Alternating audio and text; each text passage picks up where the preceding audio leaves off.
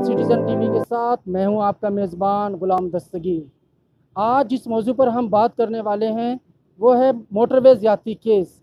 जैसा कि आप जानते हैं कि मुल्क में ज़्यादती के वाक़ात बढ़ते जा रहे हैं, कानून में कुछ ऐसा नहीं है कि उनको कोई खसूसी सज़ा दी जाए।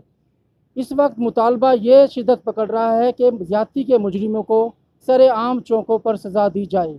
इस हवाले से वज़ी अजम इमरान ख़ान ने आज एक अहम फ़ैसला किया है इसकी मंजूरी अभी होना बाकी है। वज़ी अजम इमरान ख़ान ने कहा है कि ज़्यादती के मुजरमों को कीमियाई या सर्जरी के ज़रिए नामर्द बना दिया जाए। इस हवाले से ख्वाजा सरा क्या कहते हैं? आइए उनकी राय जानते हैं।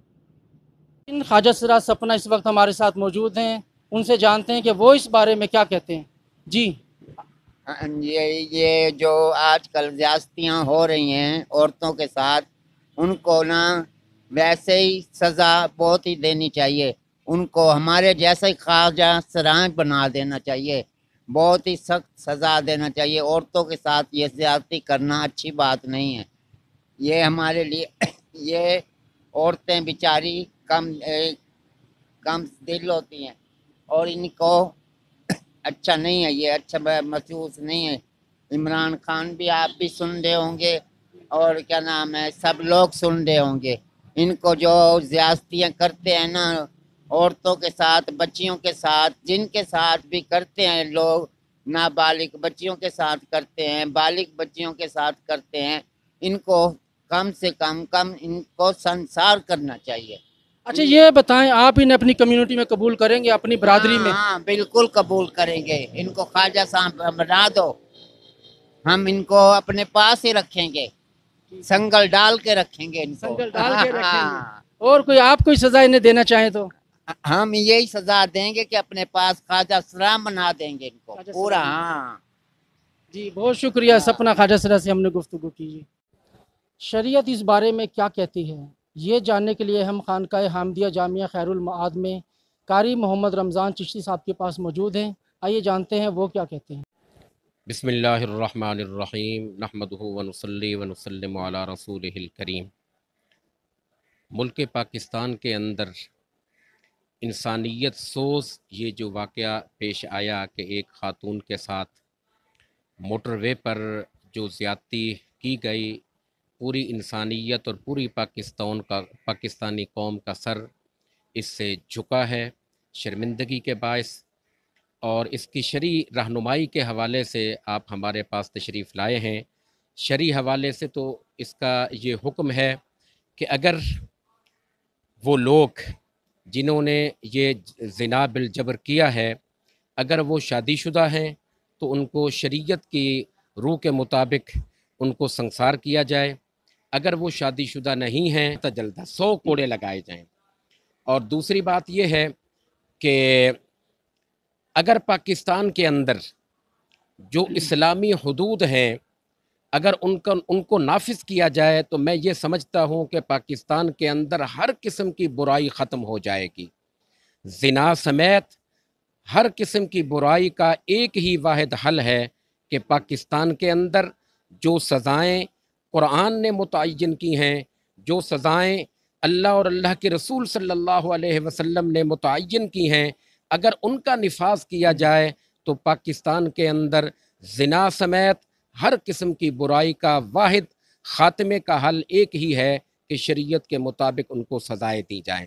तो हमारी हुकूमत पाकिस्तान से यही अपील है कि इन दरिंदों को शरी सज़ा दी जाए। नामर्द बनाने की जो सज़ा तजवीज़ की जा रही है उस बारे में आप बताएँ कि क्या ऐसा मुमकिन है शरीयत के मुताबिक? ये बिल्कुल शरीयत से तसादम है और शरीयत से तजावुज़ है। इस तरह की बात नहीं करनी चाहिए। शरीयत ने कहीं भी ये हुक्म नहीं दिया कि अगर कोई जना बिल जबर करता है तो उसको जो है ना इस तरह की घनौनी सज़ा दी जाए। ये शरीयत के अंदर कहीं भी नहीं जी बहुत शुक्रिया नाजरीन आइए जानते हैं शहरी इस बारे में क्या कहते हैं। आप ये बताएँ इमरान खान ने यह कहा है कि ज़्यादती के मुजरिमों को नामर्द कर दिया जाए। क्या ये बयान सही है? इस हवाले से होना चाहिए। नहीं बिल्कुल होना चाहिए जी। ये बहुत अच्छा स्टेप है और इमरान खान हमारे कप्तान हैं और इनको चौकों पर लटकाना चाहिए ताकि ये जो काम वगैरह करते हैं इससे कमी आएगी मुल्क में और मुल्क में इंशाल्लाह तरक्की आएगी और ये होना चाहिए लाजमी होना चाहिए। आप क्या कहते हैं? ये लाजमी होना चाहिए। इनको बल्कि चौक पे फांसी देनी चाहिए इनको ना। ये होना चाहिए जी इनको वाकई चौक पे फांसी होनी चाहिए। सही कह रहे हैं भाई फैसल। असलम नाजरीन, इस वक्त हम मरूफ माहिर कानून मलिक मोहम्मद आसिम आवान साहब के पास मौजूद हैं। आप मुल्की और गैर मुल्की सतह पर फौजदारी मुकदमात पर अहम कौमी नज़र रखते हैं। आइए उनसे जानते हैं, वो इस बारे में क्या कहते हैं। अस्सलाम सर। वालेकुम जी। जी बिस्मिल्लाहिर्रहमानिर्रहीम और अस्सलाम वालेकुम वज़ी अजम साहब ने जो तजवीज़ पेश की है, इसके दरअसल दो हिस्से हैं। इसका एक हिस्सा ये है कि जो आ, सज़ा है रेप केस के अंदर और ख़ास तौर पे गैंग गैंग रेप केस के अंदर इसके अंदर जो सज़ा है इसका अमल दरामद पब्लिक के सामने किया जाए यानी सरेआम इसकी सज़ा दी जाए। दूसरा हिस्सा इसका ये है कि जो इसके अंदर जो मुजरम है वो साबित होने पर उसको कैस्टरेशन की जाए यानी उसके जिसम से जो तनासल का अदा है उसको उसके जिसम से अलहदा कर दिया जाए। और उसके अंदर दो तरीक़ाकार हैं, जिसमें एक तो तरीक़ाकार वो है, जिसमें आम, यानी सर्जरी के ज़रिए जिसम से उज़ू को जुदा कर दिया जाता है और दूसरा उसका एक केमिकल तरीका है, जिसके ज़रिए उस उज़ू को जिसम से, यानी केमिकल प्रोसेस के ज़रिए उसको बाकारा बनाकर उसको जिसम का एक उज़ू मतल के तौर पर भी उसको कर दिया जाता है। ये दोनों उसके अंदर चीज़ें अब जो वज़ी अजम का ये जो पहला हिस्सा है कि इसको सरेआम सज़ा को जो है वो दिया जाए। तो इसके ऊपर अगर हम दीनी अहकाम को अपने मद्देनज़र रखें और अपनी तारीख को मद्देनज़र रखें तो इसमें जो जितना भी ये अवाइल इस्लाम की जो तारीख है, नबी करीम मोहम्मद सल्लल्लाहु अलैहि वसल्लम के दौर से लेकर, उसके बाद साबा कराम, ताबईन और तबा ताबईन तक तो उसमें जो सज़ाएँ हैं और जिनको हम इस्लामी सज़ाएँ, हदूद भी कहते हैं, उनका अमल दरामद पब्लिकली होता रहा है। इसके ऊपर फ़ाइक तो की होगी और मुफ्ती साहिबान की होगी। लेकिन बतौर एक तारीख़ इस्लाम और इस्लाम के तालब इल्म, जितना हमने इसका मुताला किया है, उसके मुताबिक इसके ऊपर कोई दूसरी राय इस्लामी तारीख में जो है वो मौजूद नहीं है। कि इस्लामी सज़ाएँ ख़ास तौर पर डिटरेंस यानी माशरे के अंदर बुराई के ख़िलाफ़ खौफ और जो बुराई के अं, के मतलब जो है एक नफ़रत पैदा करने के लिए इनको सरेआम करना चाहिए। ये तो इस हद तक बात होगी दूसरी बात ये है कैस्टरेशन की। तो कैस्टरेशन के जो जो तजवीज़ है इसके अंदर जो एक खदशा जो ज़ाहिर किया जा रहा है क्योंकि मामला जो है वो अभी तक पब्लिकली तो इस तरह अवेलेबल नहीं है। लेकिन जो इसके अंदर जो खदशा है वो ये है कि कैस्टरेशन का कानून लाने का मतलब ये भी हो सकता है कि जो इसके अंदर जो शदीद सज़ा है, जैसे कैपिटल पनिशमेंट जो हमारे कानून में इस वक्त मौजूद है कि अगर कोई शख्स जो है वो रेप करता है तो उसको जो इसके अंदर सज़ा दी जा सकती है, वो यानी उम्र, यानी उसके अंदर 25 साल की कैद की भी सज़ा हो सकती है और उसके अलावा जो है उसको डेथ पेनल्टी जो है वो दी जाती है और ख़ास तौर पे ये जो गैंग रेप केस हैं, इनके अंदर जो है एक रुझान पाया जाता है कि सख्त तरीन जो है वो सज़ा दी जाए।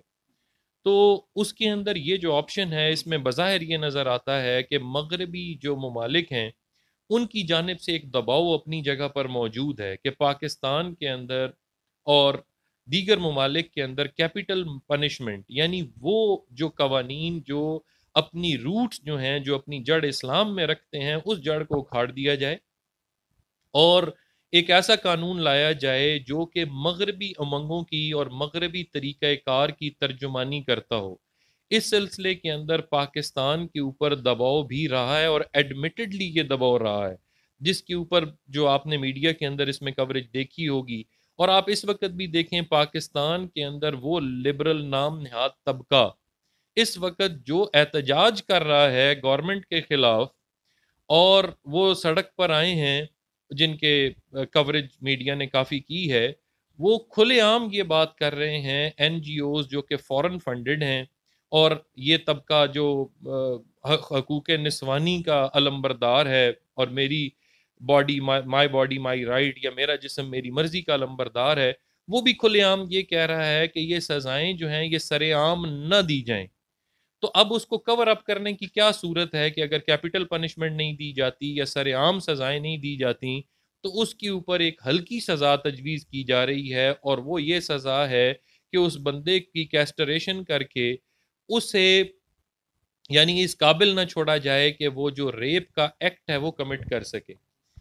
मैं बतौर एक नफ्सियात का भी तालब इल मेरा कुछ एक ग्रेजुएशन क्योंकि नफ्सियात में भी है, उसके अंदर ये बात भी अपने जहन में रखी जानी ज़रूरी है कि ऐसे लोग जो आम तौर पर रेप और गैंग रेप जैसा अमल करते हैं तो इसके अंदर लजत का जो पहलू है वो सिर्फ़ सेक्शुअल इंटरकोर्स तक महदूद नहीं होता, यानी इसके अंदर जो अमल है, ये जो मुबाशरत का ये सिर्फ़ वो इस मकसद के लिए नहीं किया जाता, बल्कि इसके अंदर जो विक्टम है, उसकी तकलीफ़ को एंजॉय करते हैं। ये जहनी तौर पर जो बीमार, जो ये जो लोग होते हैं, जो इस अमल को, जो मुजरिम ये फेल करते हैं।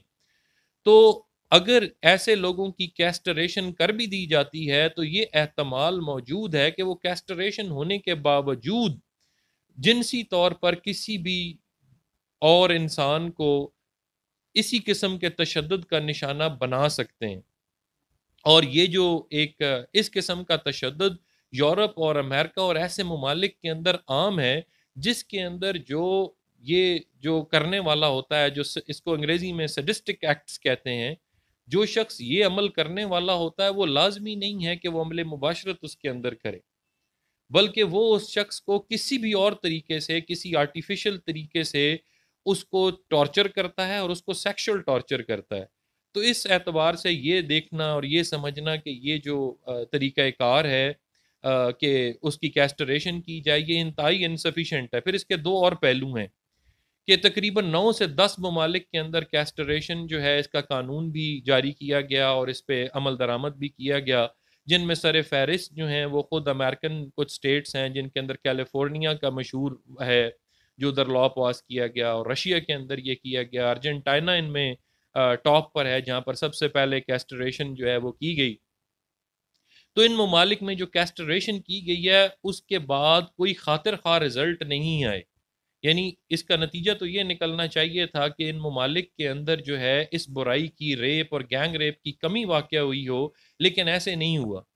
इसी ज़मन में जो एक बात इंपॉर्टेंट है, वो बताना वो ज़रूरी है क्योंकि सी सी पी ओ साहब का लाहौर से बयान आया था और उसमें उन्होंने फरमाया था कि ये खातून क्योंकि फ़्रांस की शहरी थी तो वो इसी यकीन के साथ पाकिस्तान की जो सड़क है उसके ऊपर सफ़र कर रही थी कि मैं यहाँ पर भी इतनी ही महफूज हूँ जितनी फ्रांस में महफूज थी तो ये एक बहुत बड़ी मिसअंडरस्टैंडिंग है। अगर आप जो है इस वक्त फ्रांस की जो क्रिमिनल जो इंफॉर्मेशन है, जो वहाँ पे क्राइम इंफॉर्मेशन है उसका अगर आप मुताल करें तो आपके इल्म में आएगा कि सालाना गैंग रेप के जो केसेस जो रिपोर्ट हुए हैं लास्ट इन फ्रांस उनकी तादाद तकरीबन सालाना पाँच हज़ार के करीब बनती है। अगर आप पाँच हज़ार की इस तादाद को देखें तो ये तकरीबन दस से पंद्रह रेप पर डे जो है ये इसकी तादाद बनती है जो कि इजतमाही ज़्यादती गैंग रेप के केसेस हैं। तो इसलिए ये कहना कि जो है फ्रांस है, वहाँ के कानून जो हैं, उनके नतीजे में वहाँ पर एक जो खातून है, वो ज़्यादा महफूज है और पाकिस्तान में तो ऐसा नहीं है।